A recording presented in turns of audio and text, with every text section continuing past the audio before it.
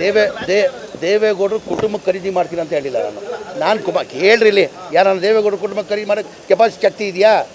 ಶಕ್ತಿ ನಾನು ಕೇಳ್ರಿ ನಿಮ್ಮ ಮಾತಿಗೆ ಉತ್ತರ ಕೊಡ್ತಾ ಇರೋದು.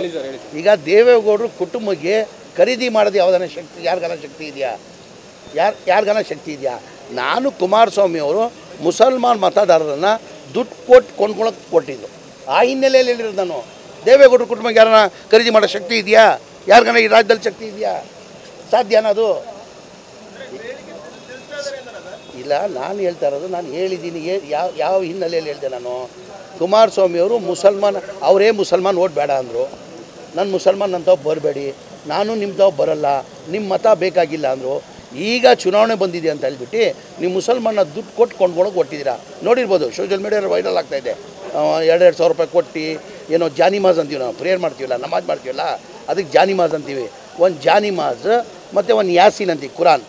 ಆ ಕೊಟ್ಟು ಅದು ಕೊಂಡ್ಕೊಳಕ್ಕೆ ಹೊಟ್ಟಿದ್ರು ಆ ಹಿನ್ನೆಲೆ ಹೇಳಿದ್ದೀನಿ ನಾನು. ಅಲ್ಲ ಅಶೋಕ್ ಅವರು ಅದಕ್ಕೆ ಕೇಳಿದ್ದಾರೆ ಸರ್ ಇಲ್ಲಿ ಪಾಕಿಸ್ತಾನದಿಂದ ಇರಾನ್ ಇರಾಕಿಂದ ಅಮೌಂಟ್ ತರ್ತಾರ ಅನ್ನೋದು ಕೂಡ ಪ್ರಶ್ನೆ ಮಾಡಿದ್ದಾರೆ ನಿಮಗೆ. ಏನಕ್ಕಿಂತೆ? ದುಡ್ಡು ಕೊಟ್ಟು ಕೊಂಡ್ಕೊಂತೀವಿ ನಾವು ಅಂತ ಹೇಳಿ ಹೇಳಿದಿರಲ್ಲ ಇಲ್ಲೆಲ್ಲ ನಾನೇನು ಹೇಳಿದ್ವಾ ಸೊ ಕುಮಾರಸ್ವಾಮಿಗೆ ಅಂತ ಕುಮಾರಸ್ವಾಮಿಗೆ ಅಂದರೆ ಮುಸಲ್ಮಾನ್ ಓಟ್ನ ಅವ್ರು ಕೊಂಡ್ಕೊಳಕ್ಕೆ ಕೊಟ್ಟಿದ್ದಾರೆ ನಾವು ಅದಕ್ಕೆ ಬುಕ ಬಿಕಾವ್ ಆಗಲ್ಲ. ದುಡ್ಡಿಂದ ಕೊಂಡ್ಕೊಳಕ್ಕೆ ಸಾಧ್ಯ. ದುಡ್ಡಿಂದ ಕೊಂಡ್ಕೊಳಕ್ಕೆ ಸಾಧ್ಯ ಆಗಲ್ಲ ಅಂತ ಹೇಳಿದ್ದೀನಿ. ಆಯ್ತು. ಸರ್ ಈಗ ನೀವು ಬೆಂಗಳೂರು ಪ್ರಸ್ತಾವನೆ ಮೈಸೂರಲ್ಲಿ ಕೊಟ್ಟಿದ್ದಾರೆ. ಬೆಂಗಳೂರು ಬಸ್ ಓಡಿಸ್ಕೊಂಡಿದ್ದವ್ರನ್ನ ಇವಾಗ ಸರ ಸಚಿವ ಮಾಡಿರೋದು ದೇವೇಗೌಡರು ಅಂತ ಕುಟುಂಬದ ಬಗ್ಗೆ ಈ ತರ ಮಾತಾಡ್ತಾರೆ ಅಂತ ಸುರೇಶ್ ಗೌಡ ಹೇಳಿದ್ದಾರೆ ಸರ್. ಏ ಕೇಳ್ರಿ ಇಲ್ಲಿ. ನಾನು ಬಸ್ ಬಸ್ ಮಾಲೀಕ ನಾನು. ನಾನಿಲ್ಲ ನನ್ನ ತಾತನ ಕಾಲದಿಂದ ನಾನು ಬಸ್ ಮಾಲೀಕ ನಾನು. ಕುಮಾರಸ್ವಾಮಿಗೋಸ್ಕರ ಬಸ್ ಓಡಿಸಿರೋದು ನಾನು. ಇದೇ ಕುಮಾರಸ್ವಾಮಿಗೆ ಮುಖ್ಯಮಂತ್ರಿ ಮಾಡೋಕ್ಕೆ ರಾಜ್ಪಾಲ್ ತೊಗೋಗಿದ್ರಲ್ಲ ಹೋಗಿದ್ರಲ್ಲ ಎಂ ಎಲ್ ಎ ಕರ್ಕೊಂಡು ಹೋಗುವಾಗ ನಾನು ಬಸ್ ಓಡಿಸ್ಕೊಂಡು ಹೋಗಿದ್ದು. ನಾನು ಬಸ್ ಮಾಲೀಕ ನಾನು.